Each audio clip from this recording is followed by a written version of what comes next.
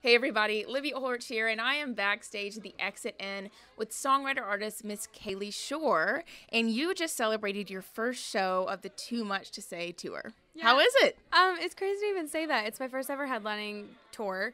Um, pretty wild. I mean, I've seen so many of my favorite artists play the stage, and I've always wanted to play Exit/In. I think seeing my name on like the marquee, the letters, I was like, oh no, this is really happening. Um, it was magic. It was really, really great. You should be really proud. Your stage presence is phenomenal. You had the crowd so engaged the entire time. And let's talk about those covers. You covered uh, pretty much all of your idols Alanis Morissette, Nirvana, I mean, the whole nine yards. So, talk about um, how that has influenced your craft and your performance. Yeah, absolutely. So I grew up, um, and I talked about this on stage. I sang "Lithium" by Nirvana, and um, I grew up playing in a Nirvana cover band uh, when I was 13, and then when I was 14, I played in a uh, bluegrass band. And I think that both of those things really led me to the sound I have now. And growing up, like the first two CDs I ever bought with my own money were um, the Dixie Chicks "Fly" and Pearl Jam Yes. uh, "Rear View Mirror."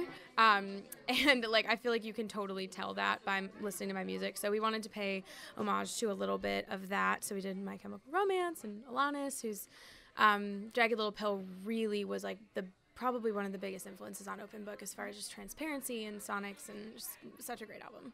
Well, you've done such a great job of making all of this your own. And I want to talk about your new album, Open Book. Yeah. And the whole writing process of what that was like. And I've heard you say that honesty is just a huge deal to you. So, what do you want people to hear through this album, and who are you speaking to?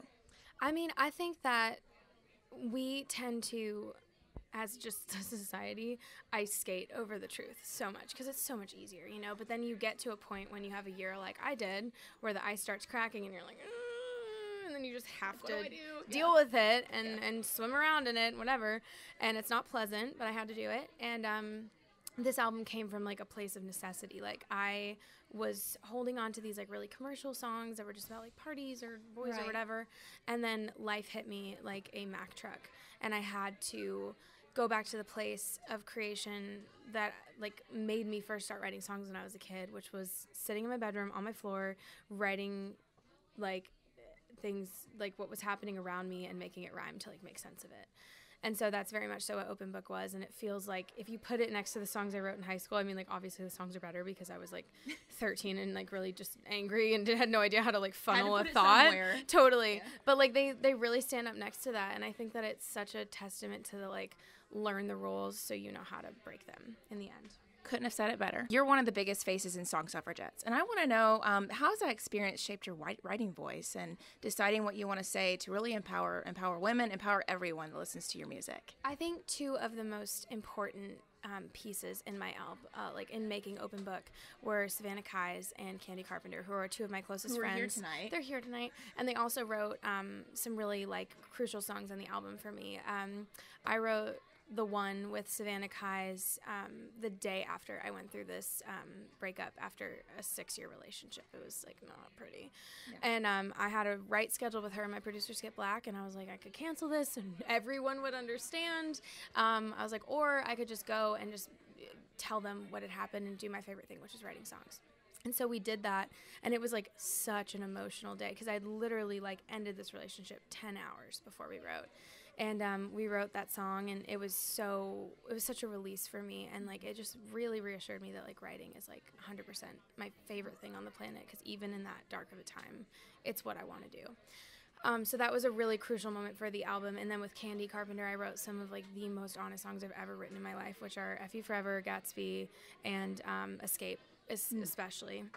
Those three, um, it's like stuff that's uncomfortable to admit, but when you put it in the universe, like I hear from women on "F You Forever," like from like 13 year old girls posting a TikTok with their middle finger up to their like middle school boyfriend who was like an absolute like a hat to them or a woman who's like 50 and she's like i'm divorced and i just i put that ring on my middle finger and i'm like yes sister It's Like, timeless. it's timeless and you know what so are a hats i'm trying to be hundred percent. Anybody that has a. TikTok out there, that is the song that you need to be covering. So, um, my last question is: This is a crossover album, and so you've got a little bit of country inspiration, a little bit of pop inspiration, rock. Was there? Um, did you have a specific idea for what songs you wanted to be more country forward rather than others that were more pop forward, or did you just kind of go with what It kind of, I feel like so much of it was just like the melodic sensibilities um, that have made people think it's like pop. I mean, because we didn't use any electronic instruments. Everything is raw, real. I played a lot of the guitars on the album, mm-hmm. um, but everything's an organic instrument. And we did put like a traditional country instrument on every single song, whether it's a dobro or a banjo or a pedal steel or a fiddle. It's on every part of the album. So if you really go and listen to it, like it's not a bunch of synthesizers making it sound like pop. It's just like the melodies. Yeah. But at the end of the day, I think everything's very anchored to country. Um, so any of that was like very just much so what happened in the writing room and sort of flowed over into the production. You've got a couple other tour dates coming up. Um, how excited are you to continue on? I'm so excited. I mean, after tonight, like I was like very nervous, but like in a fun way. You know, like there's nervous in a like yeah way, and there's nervous in a like you're just anxious to get yeah, out there, totally. and then you you dance it all out, which everyone I here witnessed. I really did. I really. Did. I don't know if I've ever. I don't think I've ever performed like that hard in my life.